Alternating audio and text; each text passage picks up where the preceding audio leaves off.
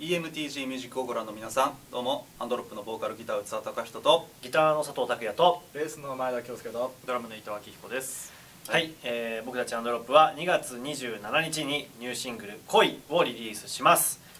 はい、えー今作は、うん。えー9月の恋と出会うまで」という映画映の、はいえー主題歌になっておりまして、えーまず「恋」が入ってます、そして2曲目は「はい日本郵便 U パックのタイアップお曲ということでそうですね。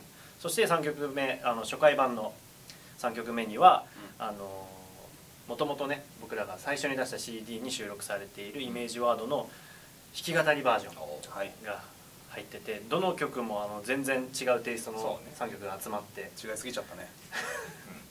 大変でした。大変でした。ではい。も、あのその1枚でアンドロップのこう振り幅がねまあいろいろ体感できる1枚になっておりますのでぜひ皆さん聴いていただけたら嬉しいです、はい。えーそして昨年12月に10周年イヤーに突入するタイミングに発売した最新アルバム「デイリーを引っ提げてはい。今年の5月から全国ツアーが決定しております、はい。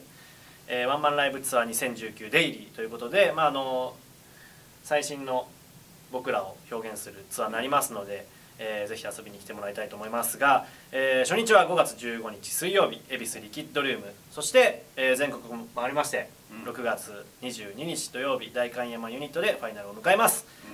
うん。思い出の地ですね。はい。はい。ぜひ、えー詳しい情報はオフィシャルサイト SNS 等をチェックしてみてください。おはい。願いします、それでは EMTG 恒例の恒例ですね。恒例ですね。はい、前検索ワードというわけで最近僕らが検索したワードということなんですけど。何でしょうか。最近はですねはい。飛行機マイルですね。飛行機マイル。そうですね。ですね。やっぱ飛行機にやっぱ乗るの流行ってるじゃないですか僕ら。僕らの中で今流行ってそうますね。もう圧倒的にもう新幹線よりも飛行機乗る方がナウイみたいな風潮があるじゃないですか。そうですね。ナウイはい。そのやっぱそれに対してやっぱどうどうすれば効率よくマイルが貯まるのかっそうですね。ていうそういうところをステータスがつくのかつくのかとうんいうところを日々研究してね。研究しておりますから。奥が深いですからね。そうですよ。ですね。パーイェンでちゃんとねはい。考えていきますからね。はい。大変で。はい。はい。皆さんも検索してみてください、はい。以上。アンアンドロップでした。バイバイ